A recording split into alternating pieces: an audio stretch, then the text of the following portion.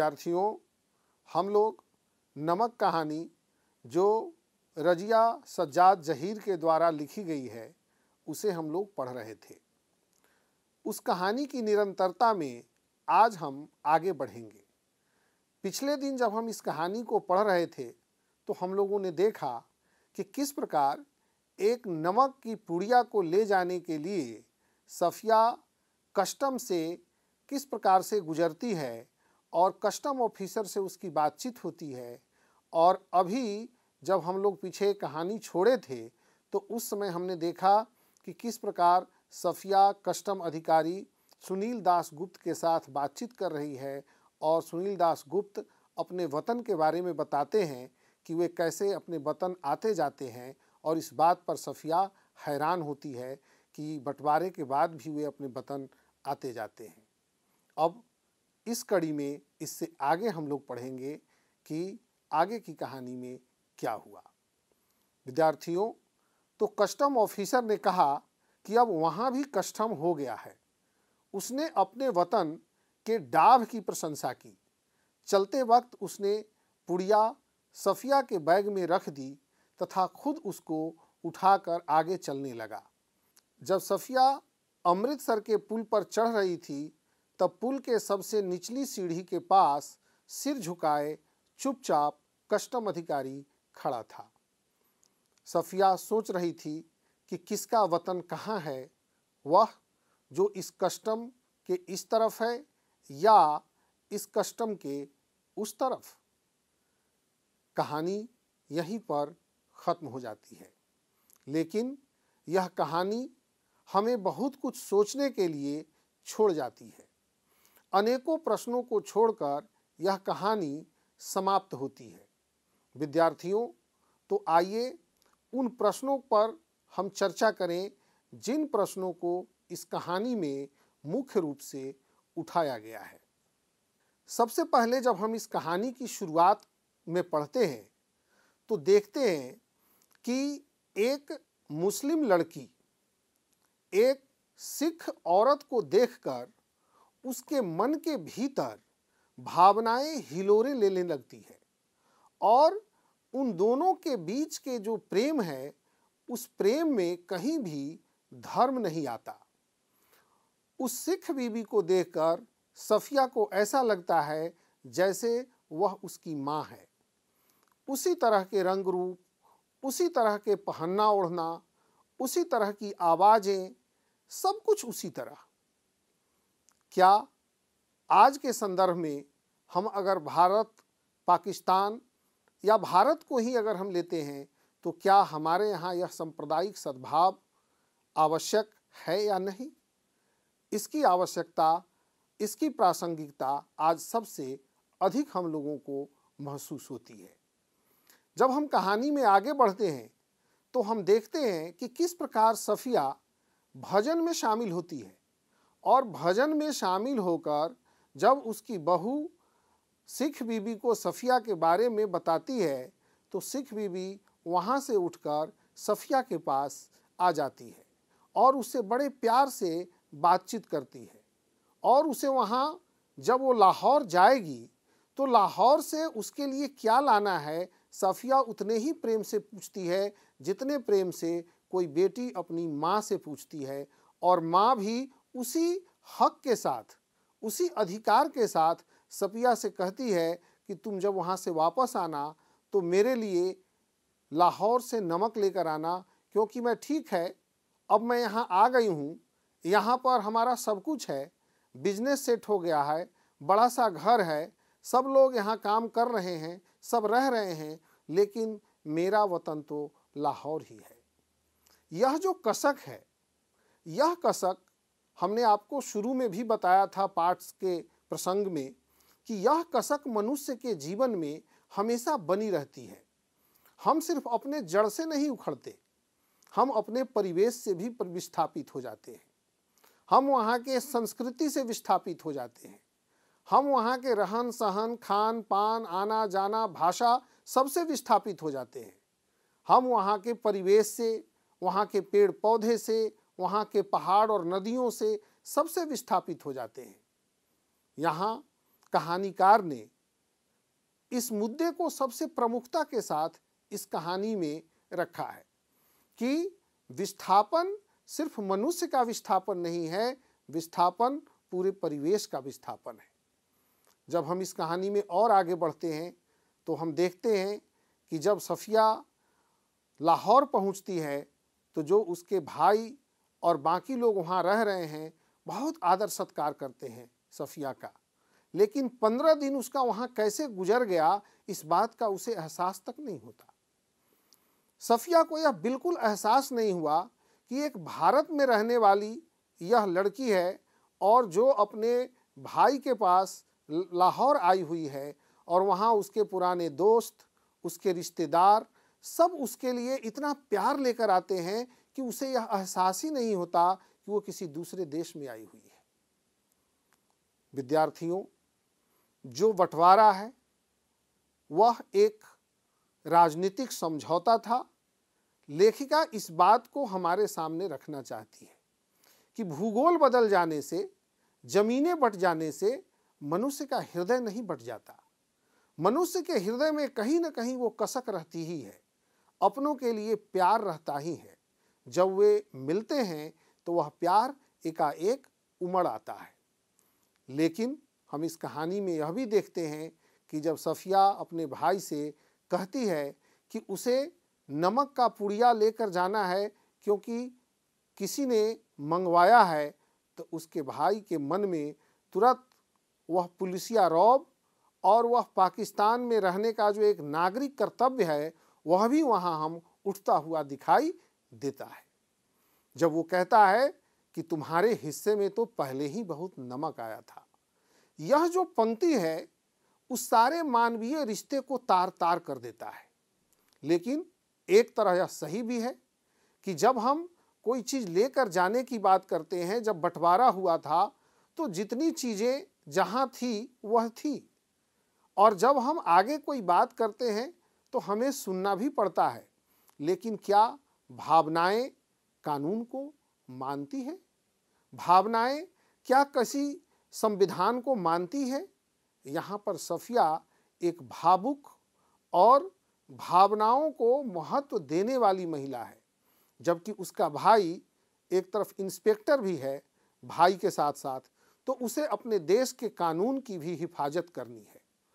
तो हम इस कहानी में कई ऐसे परत दर परत हैं, जिसको जब हम व्याख्या करते हैं, जब उसको हम समझने का प्रयास करते हैं तो उसमें से उन परतों के भीतर से एक अलग अर्थ निकलता है। ठीक हम जब कहानी को और आगे बढ़ते हैं तो देखते हैं कि सफ़िया के मन में उस नमक को ले जाने के लिए जो जद्दोजहद है, वह शायद बहुत ही महत्वपूर्ण है। वह चाहती तो कह देती कि ठीक है, वहाँ से नमक नहीं लाने दिया, लेकिन नहीं वो किसी भी कीमत पर नमक ले जाने के लिए तैयार है और वो नमक लेकर आती भी है। पहले उसके मन में आता है कि इस नमक को हम कीनू के भीतर छुपा दें। छुपाती भी है, लेकिन फिर उसके मन में कहीं ना कहीं आता है कि प्यार के लिए जो वस्तु ले जाई जाती है, उसे चोरी से नहीं ले जाई जा सकती। इसलिए वो कीनू के भीतर से उस नमक को निकाल कर अपने पर्स में रख लेती है। तो यह जो कहानी की बारीकियाँ हैं उस बारीकियों को रजिया सज्जाद जहीर ने बड़े ही संजीदा ढंग से हमारे सामने रखा है। सफिया, जब कस्टम अधिकारी के पास पहुँचती है तो हिचकते हुए पूछती है और वह पूरी कहानी बताती है और कस्टम अधिकारी उसके भावनात्मक, उस कहानी को सुनकर अपना अधिकार, अपना कर्तव्य सब भूल जाता है और उसकी भावनाओं को समझते हुए उस नमक को अपने हाथ से लपेटकर सफिया के पर्स में रख देता है और कहता है कि उनको जाकर कहिएगा कि लाहौर उनका वतन है और देहली मेरा। क्योंकि वह जो कस्टम अधिकारी था, वो देहली का था और बंटवारे में वो पाकिस्तान चला गया था, लाहौर बॉर्डर पर तैनात था। बच्चों, यह कहानी सिर्फ़ नमक को लेकर जद्दोजहद की कहानी नहीं है। यह कहानी हिंदू, मुस्लिम, सिख, ईसाई, एकता और प्यार की कहानी है। क्योंकि कोई देश सिर्फ़ एक पंथ, एक धर्म से नहीं बनता। भारत ऐसे देश में विभिन्न धर्मों को मानने वाले लोग रहे हैं और हैं। इसलिए जब हम इस कहानी को देखते हैं तो जितनी बेचैनी सिख बीवी के मन में अपने लाहौर के प्रति है, उतनी ही बेचैनी हम वहाँ बॉर्डर पर तैनात उस कस्टम अधिकारी के मन में दिल्ली के प्रति भी देखते हैं। जब वो कहता है कि आप जब वहाँ जाएँ तो जामा मस्जिद की सीढ़ियों को मेरा सलाम कहें।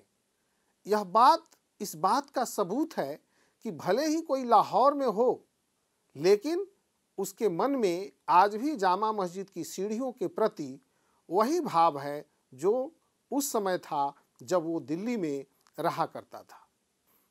बात सिर्फ़ भारत पाकिस्तान बंटवारे तक ही सीमित नहीं है। इस प्यार की कहानी बांग्लादेश तक जाती है, जब सफिया वहाँ से जब भारतीय बॉर्डर पर आती है और वहाँ पर सुनील दास गुप्ता कस्टम अधिकारी से उसकी मुलाकात होती है और वहाँ पर वो अपनी पुस्तक दिखाते हैं और सारी बात सुनने के बाद नमक को उसके पर्स में डालकर और उसके, उस पर्स को अपने हाथ में लेकर साफिया के साथ साथ धीरे धीरे वो अमृतसर के उस पुल तक आते हैं और पुल के नीचे सीढ़ियों पर खड़े होकर उसे ऊपर जाते हुए बड़े भाव भीने नेत्रों से देखते हैं। विद्यार्थियों, इस कहानी में कानून, हुकूमत सबको लेकर एक बहुत बड़ा प्रश्न खड़ा किया गया है। जब सफिया अपने भाई से कहती है कि क्या कानून कानून कहे जाते हो, सब कानून हुकूमत के ही होते हैं?